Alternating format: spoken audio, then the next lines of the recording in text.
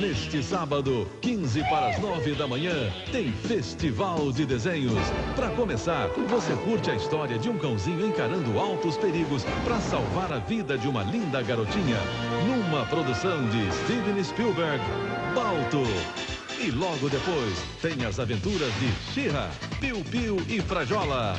Baby Huey, o pequeno Scooby-Doo e Caverna do Dragão. Essa não dá para perder neste sábado, a partir de 15 para as 9 da manhã, no Festival de Desenhos.